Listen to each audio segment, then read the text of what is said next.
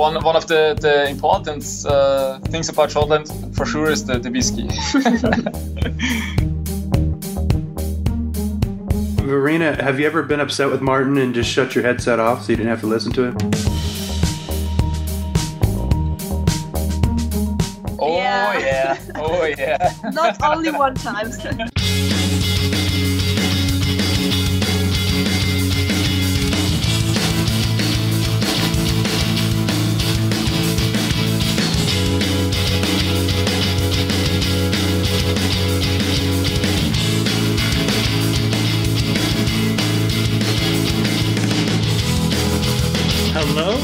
welcome back to the Bend Motorcycle Adventures podcast, your hub for everything off-road, dual sport, and adventure motorcycle. My name is John. I will be your host. This is episode 33, Bend Motorcycle Adventures podcast. Thank you for joining, and as always, thank you for listening right off the top. Real cool act of generosity from one of our listeners. Just picked this up on the Instagram feed a few hours ago, but if you recall, episode 21 of the Bend Motorcycle Adventures podcast with Aaron Steinman, who's been riding his KTM 500 around the world, he's about ready to uh, set off again. I think he's going to be departing from Georgia, but one of our listeners offered to help him cover the cost to ship his motor back to the country of Georgia again. So, listener, if you're out there, hit me up, bendmotorcycleadventures at gmail.com. We just got some new hats in. I'd like to send you something out, and we really appreciate that act of generosity. Man, the power of the podcast never ceases to amaze me. And safe travels to Aaron Steinman. I, I know you're taking off in about a month, and uh, I just want to thank you for being a guest of the podcast. And hopefully, when uh, everything is said and done, the dust has settled, literally or figuratively, perhaps we can get you back on the podcast to recap the adventure. But uh, you know what? Safe travels from us here at Bend Motorcycle Adventures. Now, speaking of motorcycle touring and motorcycle travel or motorcycle adventures, episode 33, we've got a couple from Austria, Martin and Verena, who spend their spare time traveling the world on their BMWs. So, without further ado, let's get into episode 33 of the Bend Motorcycle Adventures podcast. Again, thank you all for listening. We met at, uh, Six at uh, six years ago uh, on our um, school University. in yeah, university um, education, and we are both studying uh, teacher for a teacher in Austria, and uh, so we met each other, and yeah, that Yeah. was the starting. yeah, uh, we both uh, wasn't uh, motorcycle riders um, before, and we're both starting uh, riding together. Okay, Yeah. so what what spawned the uh, the idea, the interest to get into riding your motorcycles around the world? Um, I started uh, four years ago making the driver license for motorcycle um, because I um, also was driving the moped. It's called in Austria. It's the small ones where the, the teenager are driving. Mm-hmm. And then I decided to make the, the big license and drove with my father um, in, in the um, was heißt Umgebung? Surroundings. yeah, surroundings. And then uh, Martin said, okay, I need to do this also. Yeah, and my my dad's uh, always uh, when I look back, he always owns a motorbike. Uh, at the beginning, he owned the Super uh, Sportler um, with uh, Suzuki and uh, Ducati and so on. And um, yeah, after he, uh, my sister and uh, I was born, um, uh, sold his motorbike. And then when I was at uh, older age, um, he started again and he bought a BMW, BMW R uh, 1100 GS. And this was the beginning of uh, adventure traveling motorbiking. and um, yeah, Verena, also, uh, we know each other. So uh, Verena and uh, I were in a relationship uh, at this time. And yeah, we saw uh, the travels from my parents, and uh, at this time, uh, there was the TV series um, uh, Long Way Round with you and, Oh, and okay. Dali. And this was a starting point for us. Yeah, I think the the long way around has spawned many motorcycle adventures. Some people who haven't Yeah. ridden before too. Yeah, very Yeah. inspiring movie. Um, I was looking at the both of your motorcycles. Why don't you kind of walk us through uh, the bikes that both you have, and then I have to wonder, being from Austria, why aren't you riding KTM's? for Austrians, for us, uh, it would be the um, normal thing to use the, the KTM's, but the big thing, uh, the really big thing, what we think, what we love about the BMWs are the cardan and the boxer engine because it's so smooth. It's so smooth. It's uh, easy traveling. Uh, and the, the other side is the KTM. They have their um, lot of power engines, and uh, I think it's in some cases it's too much power for an adventure or traveling bike. Yeah. yeah, you're not the you're not the first person to mention that on this podcast. That uh, we've had people come over from BMWs to KTM's and they say, "Wow, you have to ride these things hard," while the BMWs are very comfortable and, and very easy to ride. Yeah, it's right. It's like riding your uh, sofa, your TV couch. I like that. I love that perspective. So, um, you guys haven't been out there traveling too long. Do you know off the top of your head about how many miles you've put on the BMWs already? Yeah, I've my one is uh, 2017 one, um, GWGS um, 1200 rally, and um, I have 25,000 kilometers. Also the last two years. Yeah, and my uh, adventure I bought uh, last year in April, and now I have 14,000 kilometers. Uh. Okay, so I'm wondering about you. Both are teachers in Austria.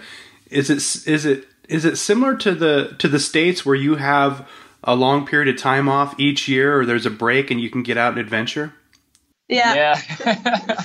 uh, we have in July and August we have no school, so we have holidays, and we uh, have also and at ho- uh, Christmas holidays and Easter holidays. So we have a lot of free time, and uh, we use all of this time traveling around the other in the world. Okay. What is what's what's the first place that you you traveled on your BMWs? Your first adventure ride? In Europe, um, for for example, Eastern or Christmas holidays. It's cold. In Europe, it's very cold, and you uh, have less places where you can um, go for a trip in the winter time or in the um, springtime. And so um, we uh, looked up at the internet and found the ride and fly or the fly and ride um, offers. And for us, it's uh, just, this was our first motorbike uh, holiday or trip. Was uh, to the island Madeira. Maybe you know. It's uh, it's yeah near also near the uh, African coast. And I think it's it's uh, part of the Azoren and uh, it's a little island i think uh, 60 kilometer uh, long, long, and uh, there we booked the flights um, spent uh, one week on the island and rented uh, motorbikes i think bmw 650 gs and so we spent our first motorbike holidays on an island.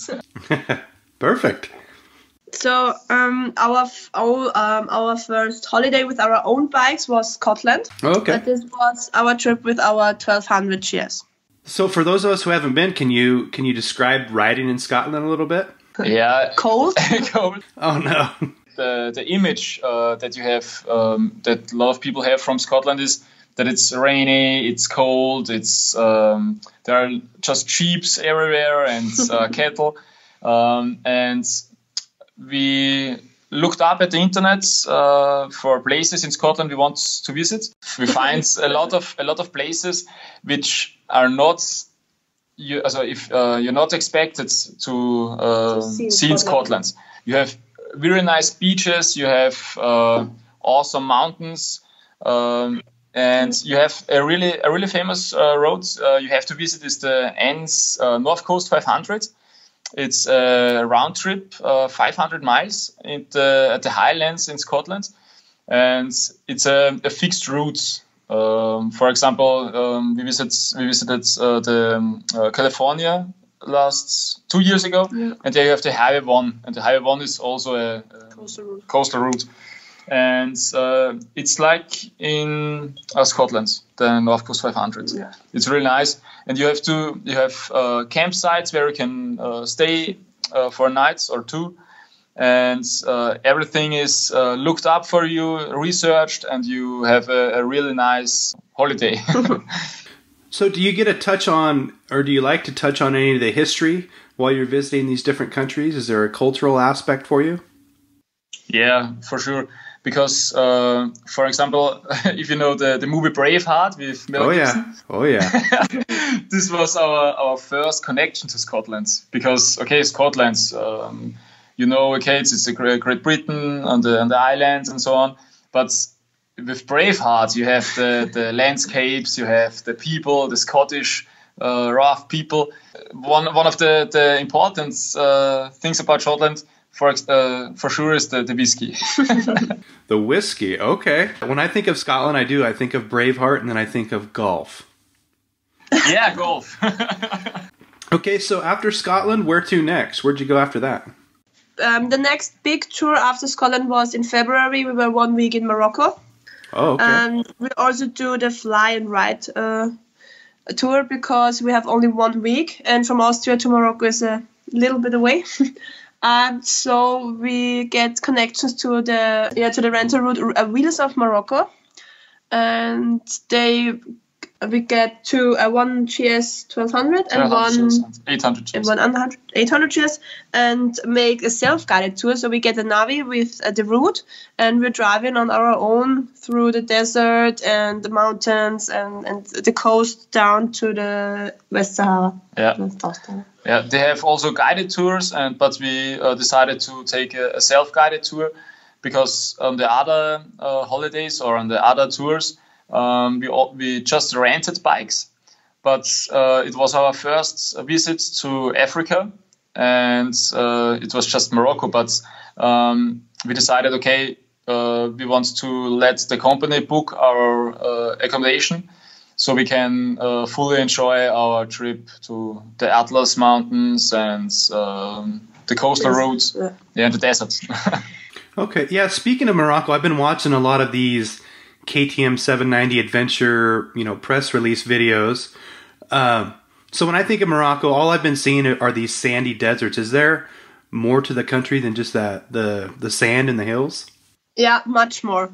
Um, we drive the coast down, so we saw the sea, many people, many big cities, and there have um, much infrastructure, and there are many markets. Also, that's unbelievable. They have everything on this market. yeah, they also have these small houses, and it's like um, you're driving through a, a theme park. It's like you have all these, all these. Um, it looks like in a movie when you uh, remember uh, Star Wars, Yeah. the new, the new Star Wars. you have these these small uh, houses and and um, These colors. yeah, and these colors with, with the sand and um, the sun. Yeah, it's like it's like in a, driving a movie. Good to know. Good to know. Now you guys are, if correct me if I'm wrong, but you're getting married in June. Do you have something special planned for your marriage? A ride? For the marriage, I think we want to um, make a little photo box with, with our bikes in front of the in front in front of the um, uh, location there, and where the people can sit down, sit down on your bikes, make some photos. I like that. I, I like that idea. Yeah, try to get the feeling we have all, all year. Yeah. So you're gonna kind of commemorate some of your rides during the ceremony, right? the big um, surprise for our uh, family and guests, uh, but uh, some some already know. Um, we want to spend our honeymoon uh, on a tour from Vienna to Istanbul. Istanbul in Turkey. Oh wow! So I want to inquire about that. How how long of a ride would that be? Um, more month. than more than four weeks. Yeah, Oh wow! Okay. yeah. So this will be your longest longest ride to date. Uh, no, we already make uh, last year in July and August. We went up to the North Cape. We started in Vienna, um, up with the car train to Travemünde in um, Germany. Germany, and go to, with the ferry to Helsinki. And then we drive up the TET, this is the Trans Euro Trail. It's a gravel road um, through Finland up to the North Cape.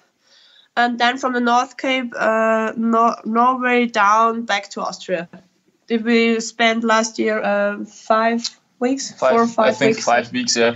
And it was it was our first real adventure after Morocco because uh, we decided to take the Trans Euro Trail. Maybe you know, or your, your The Trans Euro, yeah. yeah.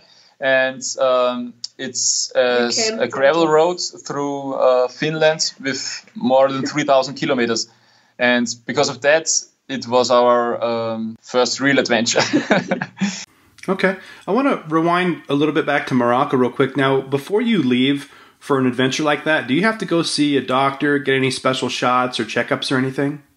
for the Morocco, it was the first time that we did that. We talked to the doctor if it's Necessary. yeah, if it's necessary to make this, and they said not really, but if you want to be on the on the safe side, yeah, make it. And we make, I think we get two, two, uh, Two two or or three uh, shots. yeah and injections, yeah, and that's it. In two weeks, we also ride to Morocco again, because this time we make the Atlas tour, and so this time we don't need anything. yeah. Because I, I think um, Morocco is um, the Europeist country in Africa. Yeah.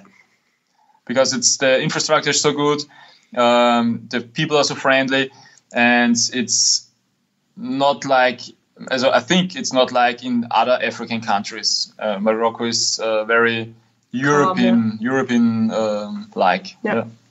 Okay. Yeah, because I was going to ask you if, you know, you're traveling to a foreign country. I was curious if there was any um, concerns or anticipation leading up to, you know, especially with the self-guided tour the first time through there.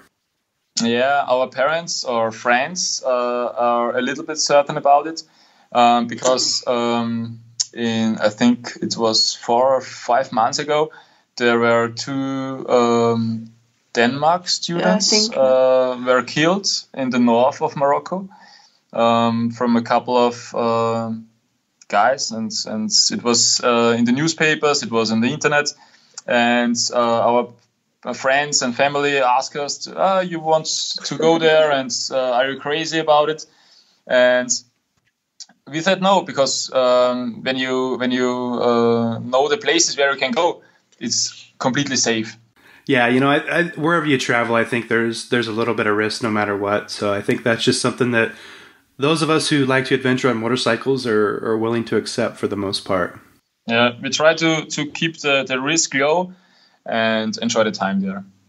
Yeah, risk low, fun factor high. Oh yeah. Hey, I got a question for you. You know, most of the time I, I interview, if I'm interviewing multiple people, it's a couple of guys that are out riding together. But what's it been like traveling and adventuring as a couple? Yeah, um, it's awesome. We can share our feelings together. We can uh, share our impressions and happiness together. We have our Cardo system on the helmet, so we can talk together and talk about every situation that happens immediately. So it is another feeling. It's I, I feel safer because I know there's a man behind me um, who's always there, and and so it's it's not every time behind you. For me, it's uh, maybe I'm the happiest guy on the on the planet uh, to ride with to ride with Verena and she, she on her also, um, on Yeah. on her own bike. For me, it's fantastic because you can, as Verena said, you can share the experience of traveling, or can you can share the the new uh, experience uh, immediately. Uh, when you go with your friends on a tour and your partner is at home, um, you can you as you can tell them uh, after the trip about this and that, but uh, to share to share it immediately. Yeah, I think there's. I love to travel solo, but my friend Keith talks a lot about sharing those experiences with with friends and and loved ones, and there's there's really nothing like that to to see the same thing and not just come back home and and try to explain what you saw and what you felt in the moment to someone. The other yeah the other side of, of traveling together. Um, the not so funny side is uh, when you have risky situations. Um, when I remember in the Alps in, in Austria, um, there are these um, small roads uh, and on the mountain where you have no uh, security and uh, a lot of uh, stupid car drivers or other stupid motorbikers try to push you uh, off the road and this is where the partner um, is You're a little bit scary. yeah about it, is yeah. scared about it because you, you saw your partner so you, you will see your partner uh, maybe have an accident yeah when your partner is at home you don't see that but when he's uh, behind you or in front of you um, you No. maybe have to be a little bit scary about it Yeah, and I would think that the the the headsets that you're communicating through add another element of safety to that. You know, you can let somebody know about dangers coming up or somebody driving like a, a maniac going the opposite way. we tried it uh, last year for the first time um, our communication systems and a lot of people said uh, also on the internet the community said um, yeah we don't like it and you will you will also don't like it because it's um, you want to be alone for motorbiking and not talk with with, with other people and uh, we experienced the, co- the whole other side of the communication because um, you, have, you can you can you can talk, you can uh, warn your um, partner, Sing together. sing together, or, yeah, and so we won't miss it. So we, we want we, Yeah. Yeah. and and the next uh, positive point is that we make much photos and videos, and so when we can drive, and he said, "Okay, stop, I make a picture of you," or "Stop, I fly with the drone and and make some shots," and so you don't have to put the helmet off and talk together or talk to each other. Um, we can drive through and make this thing. Okay. And hey, Verena, have you ever been upset with Martin and just shut your headset off so you didn't have to listen to him? oh Yeah. yeah, oh yeah. Not only one time. I had to ask. Not only one time. It's much more you know. I Want to know. Hey, Martin, I was watching your, your YouTube videos last night, and I was curious what what drone you're using to make videos. Yeah, um, when we started to rec- record our, our motorbike adventures, Welche Drohne? yeah, um, I've bought the um, GoPro uh, Karma drone. It was our first drone, but this was completely uh, garbage, and uh, so I um, um, sent it back and bought the DJI uh, Mavic, the first generation. Oh, that's a good drone. For us, with the the small package, it's the perfect drone for motorbiking. Yeah, I couldn't agree more. And listeners, do not buy the GoPro Karma drone. Just a heads up. Yeah, I think it's it's already uh, they already quit the production of it. Perfect. Now the D, the D, the D. I mean DJI. That that's what they do. They make they make really amazing drones. There's uh, I don't think there's a substitute right now. Uh, what has motorcycle travel and adventuring taught both of you? Pure freedom. You can go everywhere with this bike. Um, we saw it at, the, at our last trips. Um, there are streets and, and roads where no um, car can go, and we are driving like with our motorcycles uh, through. Um, you can also get these surroundings, the temperature, the smell, the road conditions. You have all this on your. You you feel all of this, and it's it's not depends where you are from and where you come from and the people are ever so friendly and you talk with people you don't know and it's like they are best friends and and make uh, on every trip you build a small community and that's the best feeling. Yeah, that's a good example because when we uh, visited Scotland, our first time at the campsite in Scotland, it was hardly raining, it was cold, and um, there are not not so many people on the campsite at this uh, at these uh, weather conditions. And um, as we arrived, uh, we built up our tents, and a couple of minutes later, a group arrived uh, at the campsite, and uh, yeah, with other with Harleys and uh, super bikes, and fireplay and and Fire Fireblade, I think it's a Honda, Oh wow! and um, yeah, it's a completely other um, brands or of our bikes and completely other style of the, the clothes and um, Yeah, and at the evening we were sitting together drinking tea and, and talk Whiskey. about it. Yeah, yeah and um, with um, no were English people. And uh, till today we are friends and talk about uh, things and have connections via Facebook or something like that. yeah Yeah, mo- motorcyclists in the, in the community is very strong. It's amazing how these bikes can bring all of us together. And I wanted I wanted to ask, you know, traveling together, out there adventuring together, and enjoying all these life experiences. Do you think it's brought the two of you much closer together? Yeah, for sure. Um, because um, traveling by plane, by bus, or uh, train, or something like that, you have also you have every time you have your you have your security. You have your um, okay. When it's not possible, I want to, I, I will fly back, or I, I I will take the next train.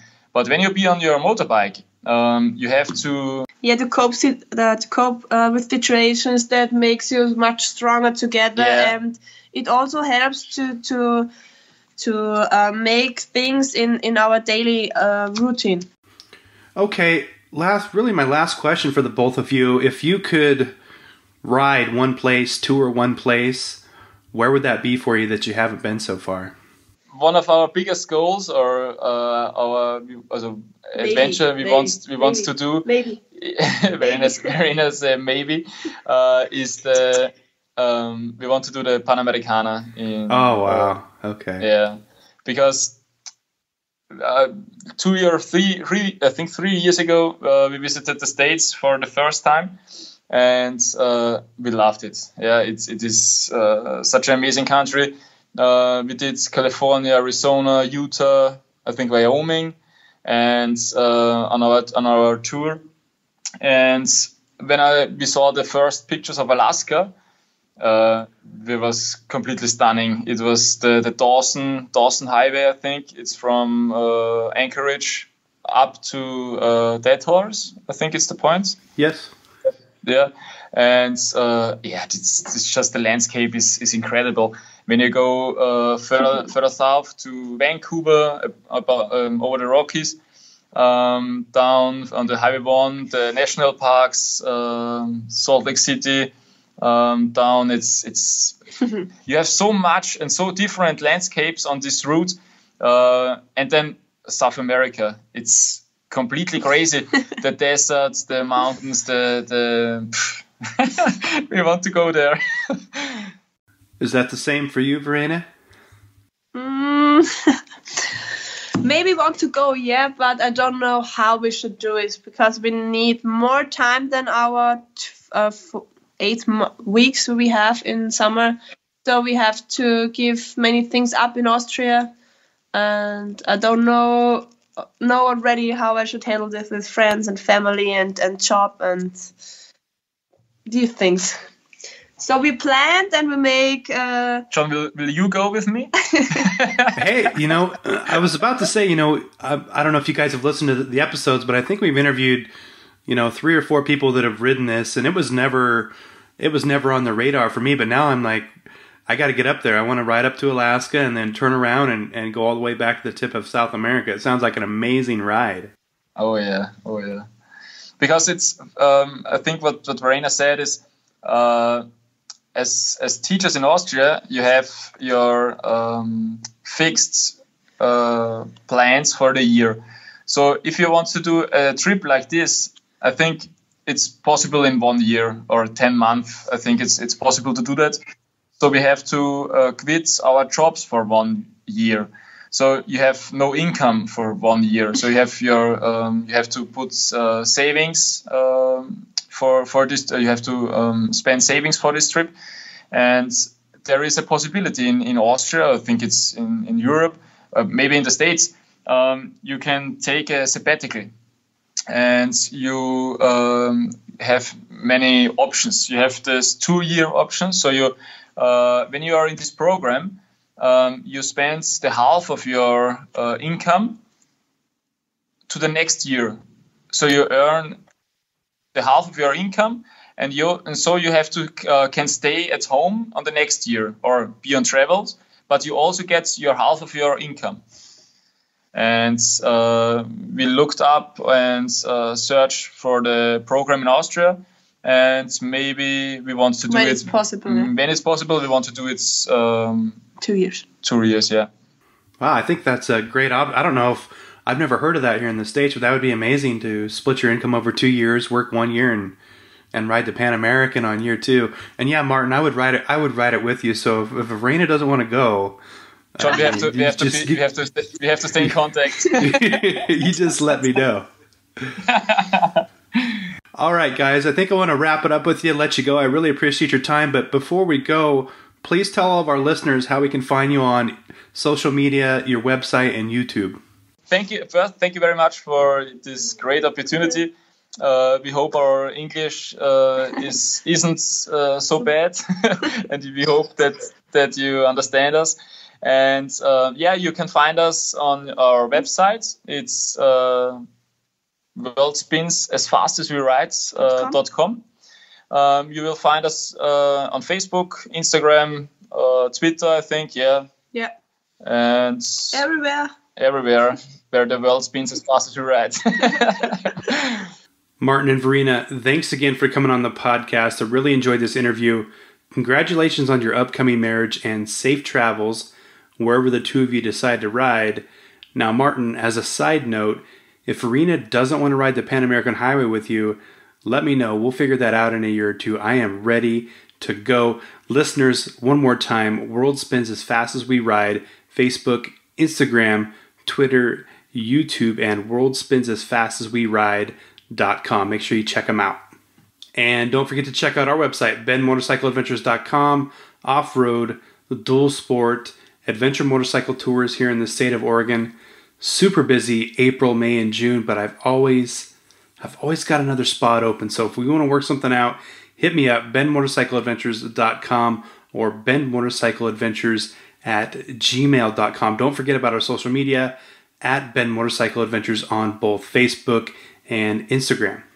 Want to throw another plug out there to Phoenix Handlebars, phoenixhandlebars.com, at Phoenix Handlebars on Facebook and Instagram. Don't forget, if you're looking for a new set of bars, bar pad, grips, whatever the case may be, Phoenix Handlebars is graciously, graciously given us a discount code to use. Listeners of this podcast, that discount code is BEND20. That's capital B, capital E, capital N, capital D, 20, BEND20 to save 20% on anything at the Phoenix Handlebars store. One more time, phoenixhandlebars.com. Really excited about some of the upcoming episodes of the podcast. You should hear a new episode next week with Backcountry Discovery Routes. That's right, we've got Kevin from the BDR nonprofit organization here to talk to us about backcountry discovery routes. I'm going to do that interview Tuesday.